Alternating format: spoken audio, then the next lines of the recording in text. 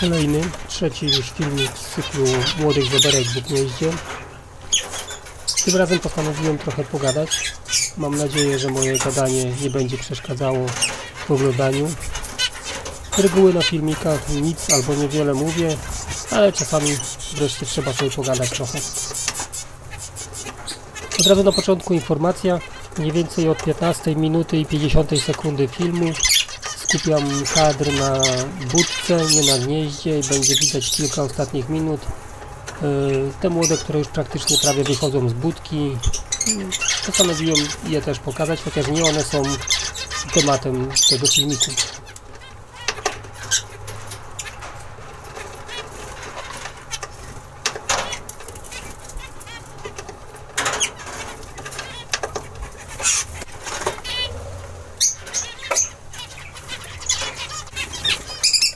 Niewiele w takim filmiku się dzieje. W zasadzie są to kolejne sceny tych samych zachowań, czyli karmienie, naprawianie czy podbudowywanie gniazda. No ale tak to już jest z tymi filmami. Tylko ci, którzy mają trochę cierpliwości i chęci do popatrzenia wytrwają.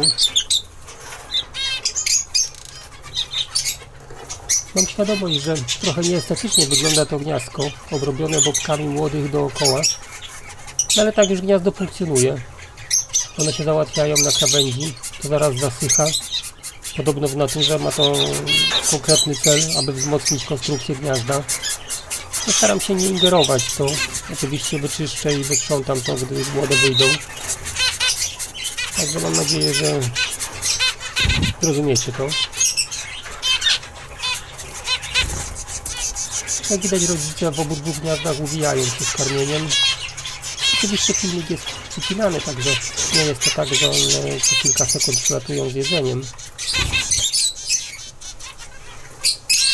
Byłby nudny film, gdzie byłoby po 5-10 minut, kiedy młode siedzą i czekają na rodzica, nic się nie dzieje. I, te, I tak uważam, że filmik, który trwa 20-20 kilka minut, może znudzić niektórych.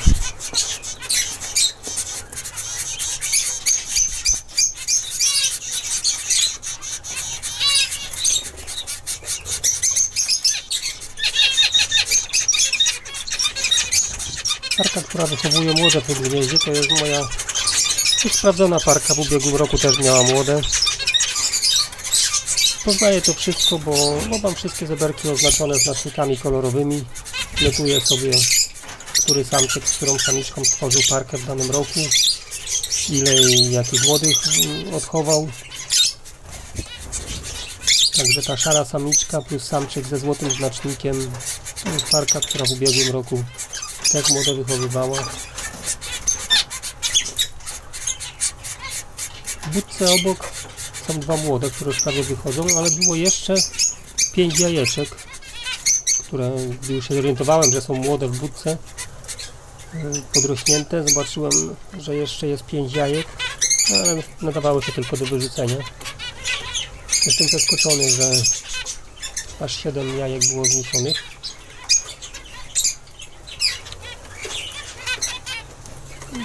Taka ciekawostka, ta parka, która w budce wychowuje młode, jakiś czas temu kupiłem 5 zeberek, bardzo zabiedzonych, wyskubanych, w ciasnej, brudnej klatce. Rzekomo była to para dorosła i trójka młodych. No i właśnie ta parka to jest je- dwie sztuki z tych pięciu. Jak widać, jeszcze widać resztki miały na karku wydziobane piórka, na piersi powydziobywane były. Widać jeszcze tam niedobory piórek w tych miejscach u, u, u tej parki. Ale sądzę, że już całkiem nieźle się wykurowały i nadrobiły. No jak się okazuje, nawet wyprowadziły lęk jeden. Co prawda tylko dwa z siedmiu jajeczek.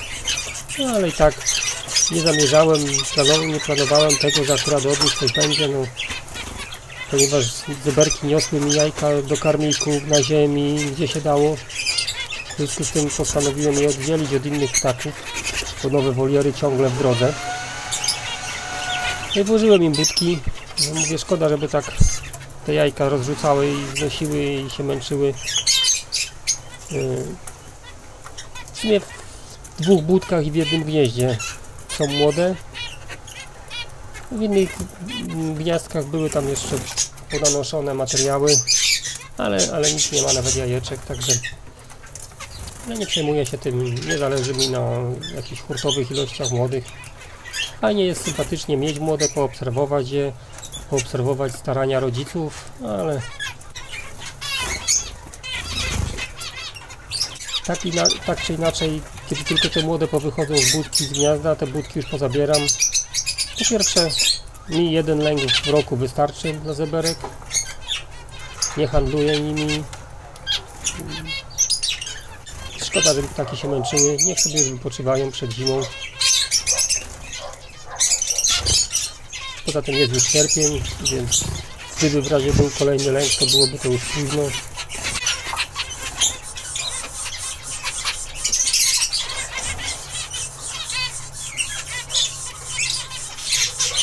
Fajne jest to, co obserwuję, że mimo tego, że budka z gniazdem są tak blisko sobie, to nie widać jakiejś agresji, niechęci jednych ptaków do, do drugich młodych. Jak widać, młode w gnieździe pozostawione na dłuższe chwile bez opieki. Dorosłe z budki w ogóle się nie interesują, nic nie robią. A na początku było podkradanie wzajemne materiału, nitek, słomek i tak dalej, ale z młodymi nic się nie dzieje, co mnie cieszy.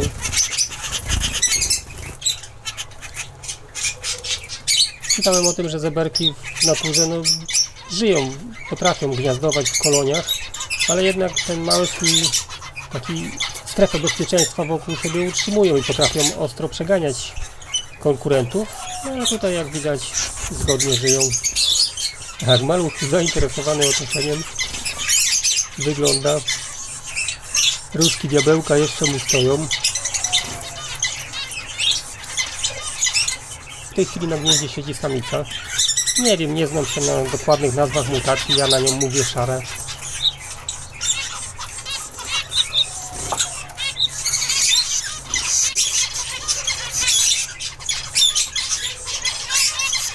Tą samiczkę z budki można nazwać cynamonową? Być może. Zawsze mam kłopoty z tym określaniem mutacji i nazw.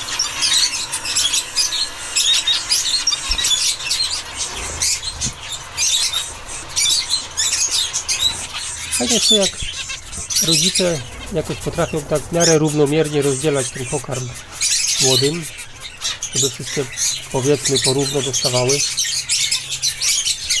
Inna fajna rzecz, śmieszy mnie jak przez skórę wola widać jak przesypują ziarka prosa. Zabawnie to wygląda. Poza tym mam wrażenie czasami, że są tak nakarmione, że zaraz to wolę im pęknie, albo te, te ziarnka prosa wyjdą im dziobem z powrotem. Tak widocznie ma być. Trochę młody w tej chwili przyjął pozycję, wygląda jak orzeł na godle.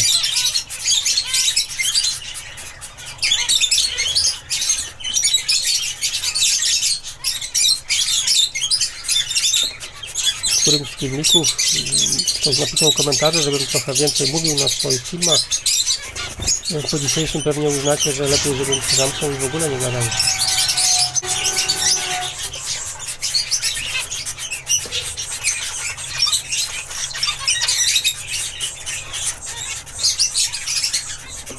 Inna ciekawostka, w tej budce, gdy ją otwierałem, gdy się zorientowałem, że są młode, już całkiem podrośnięte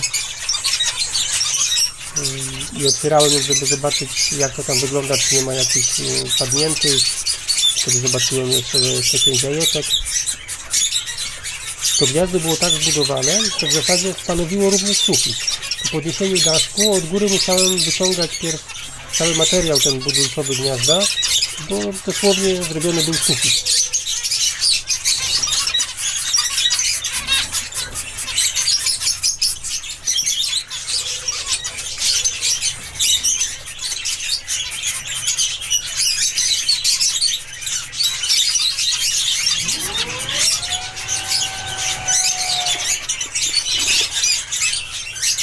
Młode są niezaspokojone.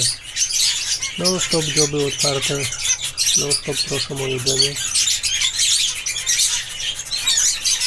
Swoją drogą tego dnia, kiedy filmik był nagrywany, bo oczywiście umieszczam go z lekkim opóźnieniem tego dnia. Ten starszy młody z budki już pierwszy raz wyszedł na zewnątrz. Oczywiście o fruwaniu to nie było mowy, to był raczej niekontrolowany upadek. I po jakiejś chwili obserwacji włożyłem go z powrotem do budki. W chwili, kiedy teraz nagrywam ten dźwięk, jest już kilka dni później, to on już wiele razy wyszedł z budki, ale już z lataniem nawet nie ma problemu. Wtedy jednak składam go jeszcze z powrotem do budki. A wtedy dzisiaj wieczorem go już zostawiłem. Już niech sobie sam radzi. Młodszy jeszcze siedzi w budce, starszy już jest całkiem na zewnątrz.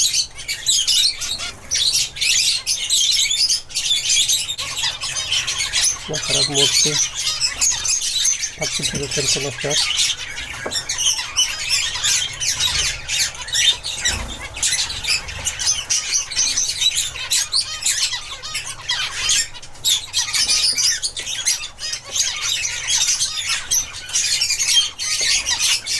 Gdyby ktoś chciał spytać o oznaczenia na budce Z2, to sobie się z ubiegłego roku, kiedy w jednej wolierze zarówno były budki dla papierek falistych, jak i dla żeberek. Więc dla lepszej, sprawniejszej komunikacji z żoną oraz dla przejrzystości notatek, które sobie prowadzę, to zaznaczałem budki.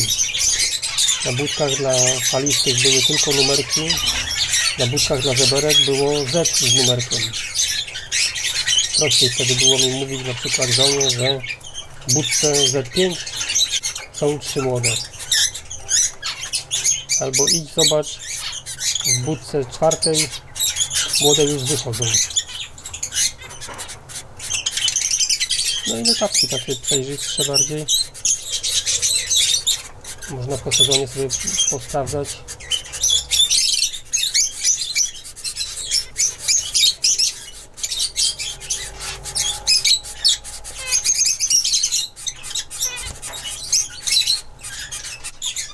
Wiem, czy tylko zbieg okoliczności na filmikach, no bo wiadomo, kamerka stoi tylko przez chwilę w wolierze.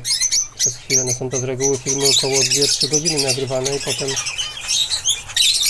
edycja, minimalizowanie, skracanie ich do kilkunastu, kilkudziesięciu minut.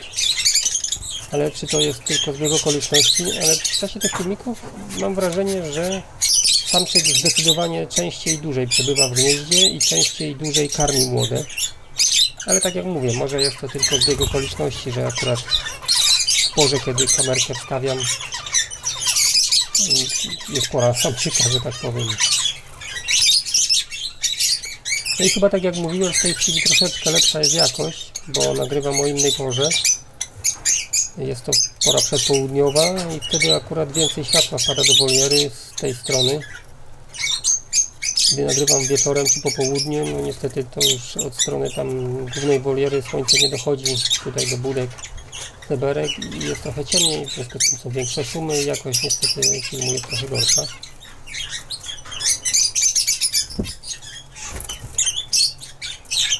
Tak a przy tej tabliczce w budce zastanawia mnie trochę, to, są, to jest jedna z tych biednych, które kupiłem, jakby powiedzieć uratowałem je ciężkiej doli. Zastanawiam się, czemu samiczka ma pozostałości, to prawda nieduże, ale tego pasa na piersi. O ile się dobrze orientuję, samiczki nie powinno tego pasa być. No, ale tak jak mówię, kupowałem, ratowałem te 5 sztuk ciężkich warunkach, więc nie wybrzydzałem, nie narzekałem. Jakie były, takie wziąłem. Cieszyłem się, że będą miały lepiej.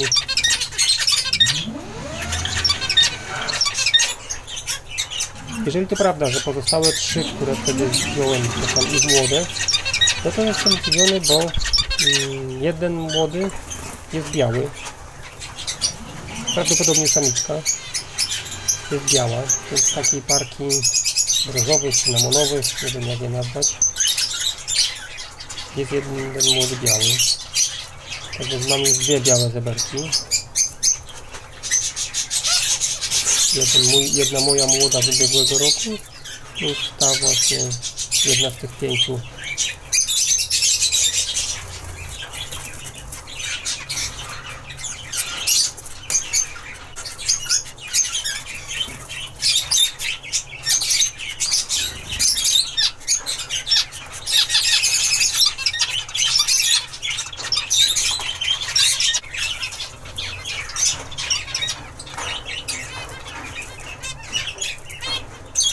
zbliżamy się do chwili, kiedy przekadruję trochę obraz i dam większe zbliżenie na budkę, na wyjście z budki. Ostatnie 5 minut filmiku to będzie właśnie skupienie się na tych młodych, które już prawie wychodzą z budki. Czyli niby odbiegnę trochę od tematu serii, ale myślę, że nie będziecie mieli niczego za złe. Następny filmik oczywiście wróci znów do gniazda. No i myślę, że chyba ustawię następnym razem kamerkę tak, żeby było widać młode na bardzo dużym zbliżeniu. Być może będzie wtedy trochę z kadru powycinane będą takie dorosłe rodzice. Ale chciałbym tak właśnie trochę bliżej przyjrzeć się, naprawdę bliżej przyjrzeć się młodym. No poza tym będzie to kolejne 2-3 dni później, więc będą już trochę coraz większe. Zobaczymy jak to wygląda. Co ciekawego wypatrzymy na takim zbliżeniu.